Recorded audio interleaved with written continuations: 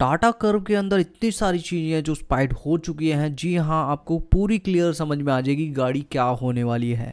सबसे पहले बात करेंगे हम ये रशलेन की तरफ़ से आई है तो इस वीडियो के अंदर अगर आप देखो तो यहाँ पे क्लियरली दिख सकती है कि गाड़ी आपको गुरुग्राम की तरफ़ में आपको ये गाड़ी स्पाइड करी गई है और ये देखने में काफ़ी ज़्यादा अच्छी जो लग रही है। इसका डिज़ाइन अगर फ्रंट से देखे तो वही हमें सेम हर जगह पर देखने के लिए मिल रहा है इसका जो डिज़ाइन है। साइड प्रोफ़ाइल भी हमें गाड़ी की वैसे ही देखने के लिए मिल रही है। अगर रियर की तरफ़ से देखे तो रियर की तरफ़ से भी काफ़ी जो गाड़ी हमें कमाल देखने के लिए मिलने वाली है। अभी मैं बताऊँगा कि गाड़ी के अंदर क्या कुछ है, जो चेंजेस आपको देखने के लिए मिलने वाला है।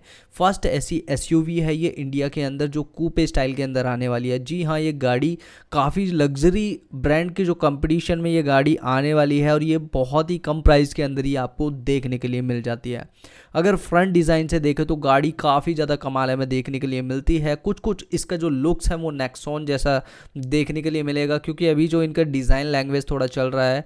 तो जैसे नेक्सॉन हो गया नेक्सॉन फिर हैरियर के अंदर वो सारी चीज़ें हैं जो थोड़ी थोड़ी चीज़ें चेंजेस आपको देखने के लिए मिलेंगे। फ्रंट फेशिया के अंदर आपको ज़्यादा कुछ चेंजेस देखने के लिए नहीं मिलने वाला क्योंकि इसी गाड़ी से इंस्पायर होके सारी गाड़ियाँ हैं जो आपको देखने के लिए मिली है, जैसे नेक्सॉन होगी Nexon EV Harrier and Safari तो ये चार गाड़ियाँ लगभग आपको सारे जो डिज़ाइन है, इसी गाड़ी से उठाए गए हैं। तो गाड़ी नो डाउट काफ़ी ज़्यादा अमेजिंग है, जब इस गाड़ी से सारी चीज़ें ली गई तो गाड़ी के अंदर और बाहर बहुत ही चीज़ें हैं जो अच्छी आपको देखने के लिए मिलने वाली हैं। चलो, अब दूसरी क्लिप को दिखाएँ तो यहाँ पे मोटर बीम की तरफ़ से आई है तो इसके अंदर भी आप क्लियरली देख सकते हो, इसका फ्रंट फेशियल डिज़ाइन काफ़ी ज़्यादा अच्छा हमें देखने के लिए मिलने वाला है। ये ईवी e वेरिएंट के अंदर भी आने वाली है, साथ ही साथ आपको पेट्रोल डीजल के अंदर देखने के लिए मिलेगी और डीजल के अलावा भी आपको ये हाइब्रिड के अंदर भी यह गाड़ी आपको देखने के लिए मिलने वाली। तो बहुत सारे ऑप्शन आपको इस गाड़ी के अंदर जो देखने के लिए मिलेंगे ही मिलेंगे। तो डिज़ाइन काफ़ी ज़्यादा अमेजिंग इस गाड़ी का हमें देखने के लिए मिलता है। सबसे पहले अगर रियर देखें तो रियर आपको समझ में आ रहा होगा, पूरा कोपे स्टाइल है, ऊपर से नीचे की तरफ़ आ रही है। साइड प्रोफ़ाइल से देखें तो साइड से भी आप देख सकते हो यूँ करके ऊपर से नीचे जा रही है। तो काफ़ी ज़्यादा जो इसका लुक्स है, टायर आप देख लो, इसके लगभग 18 से 19 इंच के बड़े आपको अलॉय व्हील्स ऑफ़र करे जाएँगे, तब ये गाड़ी एकदम धांसू का जो आपको देखने के लिए मिलेगी। तो नो डाउट इसके लुक्स के मामले में काफ़ी ज़्यादा अमेजिंग हमें देखने के लिए मिलने वाली है गाड़ी।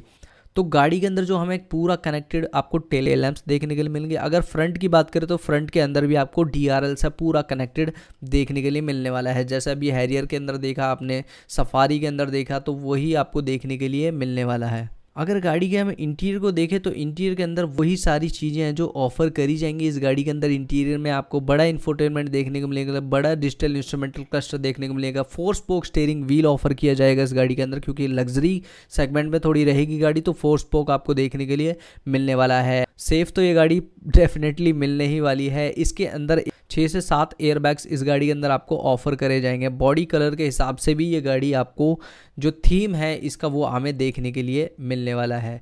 तो फ्रंट डिज़ाइन इस गाड़ी का कुछ इस तरीके का जो रहने वाला है, आपको पूरा कनेक्टेड देखने के लिए मिलने वाला है जो डी आर एल्स है यहाँ पे। तो काफ़ी ज़्यादा अमेजिंग है जो इसके फ्रंट लुक्स आपको देखने के लिए मिलेंगे। अभी ये एक वीडियो और आई थी गाड़ी की तो यहाँ पर आप क्लियरली देख सकते हो, इसका जो टेल लैम्प्स है वो जलते हुए आपको देखने के लिए मिल रहे होंगे। तो ये आपका कनेक्टेड जो टेल लैम्प्स है, पूरा देखने के लिए मिलने वाला है। तो इस तरह का ये गाड़ी के अंदर रहने वाला है।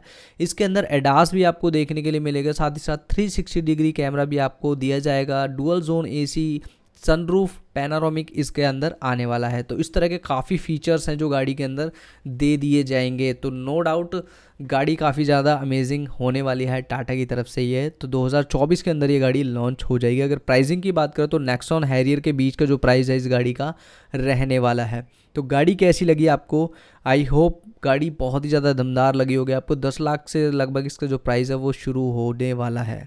तो अगर आपको आज के इंटरेस्टिंग लीक्स अच्छे लगे हों तो प्लीज़ वीडियो को लाइक और चैनल को सब्सक्राइब ज़रूर करें। बाकी मिलते हैं आपसे एक और नई इंटरेस्टिंग वीडियो के साथ हम। ओके टाटा बाय बाय जय हिंद।